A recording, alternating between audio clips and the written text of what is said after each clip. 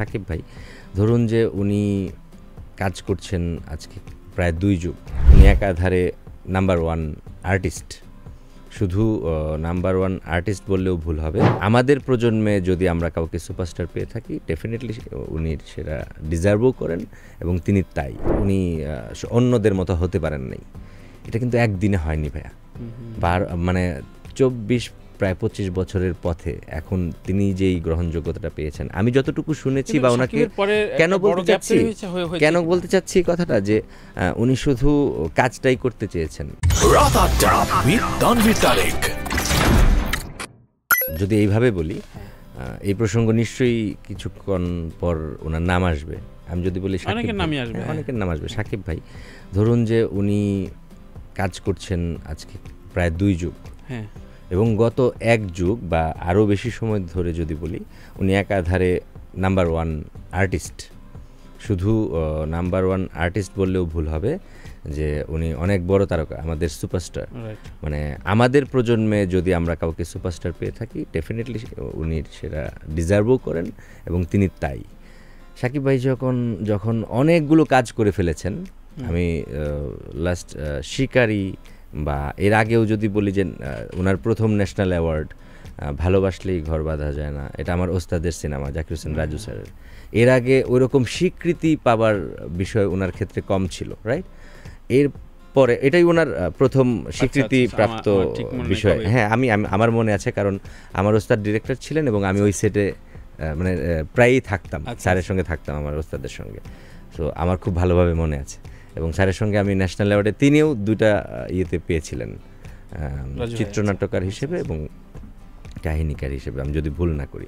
সেই জায়গা থেকে তখনও কিন্তু দর্শক ওনাকে আমরা এখন মানে সব শ্রেণির দর্শক কিন্তু সাকিব ভাইকে খুব পছন্দ করেন। ওনার পারফরম্যান্স ওনার বডি ল্যাঙ্গুয়েজ ওনার অ্যাক্টিং ওনার নাচ সব কিছু মিলিয়ে বলে যে সাকিব খানের সঙ্গে মানে অন্য কারোর তুলনা হতে পারে। হ্যাঁ, হ্যাঁ তুলনা করে না। এর আগের যে সিনেমাগুলো বা এর আগের যে মন্তব্যগুলো আপনিও কিন্তু বলতেন যে মানে উনি অন্যদের মতো হতে পারেন নাই। এটা কিন্তু একদিনে হয়নি ভাইয়া। বার মানে চব্বিশ প্রায় পঁচিশ বছরের পথে এখন তিনি যেই গ্রহণযোগ্যতাটা পেয়েছেন আমি যতটুকু শুনেছি বা ওনাকে কেন বলতে চাচ্ছি? কেন বলতে চাচ্ছি এই কথাটা? যে উনি শুধু কাজটাই করতে চেয়েছেন। আনফর্চুনেটলি শিকারির পরে কিন্তু সাকিব ভাইয়ের একটা নতুন টার্ন আসলো। কীভাবে টার্ন আসলো? সাকিব ভাইকে নিয়ে ভেবেছেন। যে সাকিব ভাইকে কোন লোকে ভালো লাগবে? কোন এই ক্যারেক্টারের জন্য কি কি লোক সেট দরকার? আর আমাদের এখানে হয় কি বা আগেও তিনি এ ধরনের আম- আমরা এখন যেই কাজগুলো করছি বেশিরভাগ জায়গাতেই গিয়ে দেখা যায় যে আমি স্ক্রিপ্ট কি? আমি শুধু মুখে শুনেছি স্ক্রিপ্ট পাইনি এর আগে। চাইতে চাইতে চাইতে মানে আমি এখনও বেশিরভাগ সেটাই দেখা যায় আমার হাতে স্ক্রিপ্ট নেই। আচ্ছা আচ্ছা। ডায়লগসটাকে আমি জানি না।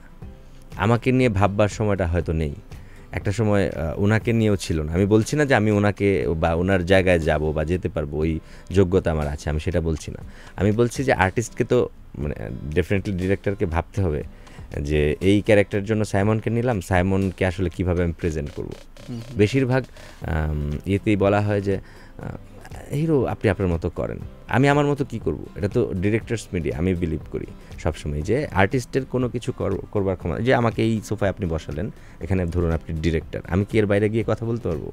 আপনি যে প্রশ্নটা করবেন, এই এই প্রশ্নের বাইরে আমার উত্তর দেবার ক্ষমতা আছে? আমিও হয়তো একটা ন্যাশনাল অ্যাওয়ার্ড পেয়েছি। বেফাস অনেক কথা বলে তো অনেক।